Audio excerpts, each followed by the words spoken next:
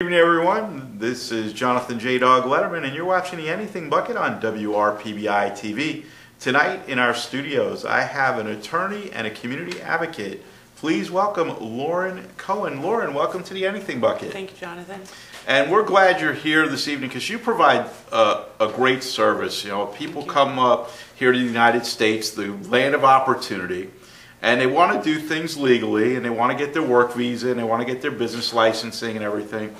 And I understand that is something that you specialize in. Mm-hmm. You mentioned something I hadn't heard about, an EB5. If you could explain that a little Sure. bit while telling the audience a little about yourself. Sure. Hi, everybody. Um, yes, Jonathan, I- I'll start by telling you a little bit about myself. I am an attorney licensed in both Canada and the U.S., came here originally on a green card myself, and several years ago was asked by my immigration attorney to write a business plan for an investor visa. And I did so, and I liked it, and um, devo- developed a business out of it. Basically, our business model is we are a team of attorneys and other professionals that offer a very high-level service to attorneys for their clients, so that attorneys don't need to deal with the business plan and all the ancillary services. We provide all of those services to them. But because we're attorneys, all of our people are licensed professionals or professional designation of some sort that are the main writing team. It kind of separates us and gives our attorney clients or attorney referral sources the confidence that they're going to get a better product. EB5. So EB5 is the biggest, hottest thing going on right now in immigration and in the financial world or real estate market because it is an alternative way of raising capital. It's a very inexpensive way of bringing in foreign capital into the country, and in exchange for this foreign capital, the foreign investors' investment has to be correlated with the creation of 10 new jobs in the U.S. So it's been a huge um, spur for the U.S. in terms of bringing in money, while at the same time creating these jobs that would otherwise not be created. And it's it's a big um, bonus for in, for um, restaurateurs and um, developers and all types of business owners in the U.S. to find another source of raising capital, especially when the capital markets dried up several years ago. Like a crowd fund. Like, to that, yes. Like a crowd fund, but doing it through the um, foreign investing process Yes. and hitting those foreign markets and those foreign venture capitalists that, again, want to have a return on their investment in the United States because it is a great place to, to invest. You know, it's the only place where I know of, and I just had a gentleman here at the TV station, came to this country with, with $5 in his pocket and 20 years later he's a multimillionaire. So I'm just going to interrupt you for a moment, not to correct you, but to say that it's a little bit more complex because the the foreign investor, the advantage to the developer is that the foreign investor is not mostly concerned about their return on investment in an EB5 case. The foreign investor is most concerned about the job creation and making sure that the investment is sound because they want their green card. So their main goal, their main focus is, is that green card safe? Are the jobs going to be created so my green card conditions are lifted? The return on investment is kind of secondary. And indeed, you actually can't even provide a guarantee of a return that would actually be contrary to the rules. Right.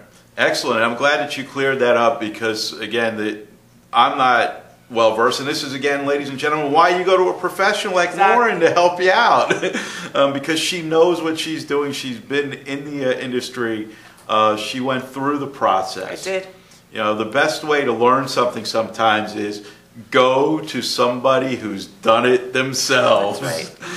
And if you could just elaborate on that uh, and possibly talk about the, the process when somebody comes to you to utilize your services and give us a quick walkthrough of uh, what they would do. I know it's hard to do in the limited time that we have here. Um, it's very complex. It's a very complex area. There's, there's two main, three main types of clients, let's say. The first type of client is the foreign investor that makes a small investment in the U.S. Not small, substantial is the correct word, but not more than generally a hundred or a couple hundred thousand. For an EB5, the minimum investment is a, a half million or a million, depending on where. So let's talk about your traditional foreign investor that everybody knows about. They'd be usually referred to us by their immigration attorney or by a friend. We would help them go through the process of making sure that their visa petition is supported by a qualified business plan. St- Part two is that you could be a developer, as I said, a restaurateur, an entrepreneur that wants to raise foreign capital. They come to us to develop the whole package of services, ranging from your business plan to your market study to your pro forma. All of our team members uh, provide this- these services. We have an, ec- two economists on our team. And then we provide the whole package so you, as the developer, can go and raise that foreign investor capital. That's part two. Part three is that there are also the foreign investors that are investing this half million or a million directly into businesses, existing businesses or new businesses in the U.S. that will seek our, um, our assistance to help them to put the package together to submit. This is the only investment-driven program that I know of that is supported or actually uh, mandated by USCIS, United States Citizenship and Immigration Service, which is a division of the US government, obviously. You don't usually have your investments in any way in, uh, have any involvement from the government with your investments other than for the SEC to oversee the investment. And again, that's great information to have because a lot of people they don't know where to look or how to how to get uh, in line uh, or in compliance, we'll say. And that's again where you come in. If somebody wanted to uh, utilize your services because you offer so much between the you know market studies, the business plan. Uh, I'm a big fan. I think a business plan is uh, necessary in anything you do, even in life. Um, you don't know sure. where you don't know where you're going to go unless you have a way to get there. You know, there's 70 different ways for me to get from here to uh, the American Cancer Society office. It's which is going to be the best path for me to take, Mhm, Absolutely. and that's again where you come in. Right. So if you could uh, tell the viewers uh, how they can connect with you, and uh, maybe share a success story or two with them as well. Sure. Um, I could actually share se- several success stories, but I'll try to limit it to two. Um, the, the first one would be we had a client not very long ago that brought us a business plan drafted by actually one of our competitors. It was for a traditional um, E2 investment, which means it's a treaty, uh, bilateral treaty with a foreign, a foreign country. In this case, it happened to be Italy.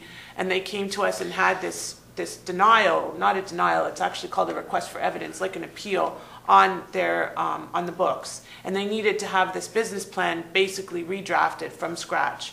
And we took it over and redrafted the whole thing and worked with the client to make sure that we overcame all of the challenges and they got approved. I don't have any actual, I have no experience with um, denials on any of our business plans because it's actually never happened.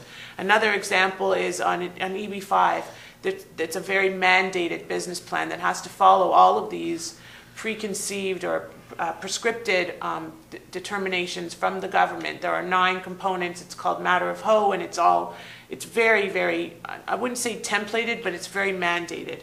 We had a business plan that was drafted, um, that was brought to us again. This doesn't always happen. We often draft from scratch, but these are success stories. And this business plan was in a shambles. It wasn't organized properly. It was missing a lot of the components, and the client had spent a lot of money putting this together. And um, we helped them to get the approval for their project so that they could raise the money that they needed. And the project is now up and running successfully in Palm Beach. So, And those are great things to share because you know here it is. There are no guarantees. no guarantees. I like the track record that you've never been denied, um, and we're not going to jinx that. That we know of. right, and it's it's great uh, that. And if you can let the viewers know uh, how they can connect Oh, with sure. you, Absolutely. So the best ways to connect with us, we have a toll-free number. It's 866-724-0085, 866-724-0085. Or you can visit our website. It's www.ecouncilinc.com. That's E C O U N C I L I N C dot com. And my email address is uh, lauren at, L-A-U-R-E-N, at ecouncilinc.com. Again, that's E E-C-O-U-N-C-I-L-I-N-C dot com. And I know from my own personal experience, I went to your website. You have a wealth of information. Thank you. If you could leave the viewers with just one quick nugget um, about using you and your services. I think that the one nugget would be, if you want it done right, you use a team of professionals. And if you need to get an approval and you want to bring money into the country or bring people into the country and be able to live and work and, and you know, build the American dream as we talked about, you need to hire us as your um, professional team to make sure that all the i's are dotted and t's are crossed. And we want to thank Lauren from, for being here and giving us a wealth of information into an area that's very, very important for all my viewers out there. We're going to take a little bit of a break and be back with some more guests. And until then, this is Jonathan J. Dog Letterman reminding you to stay positive.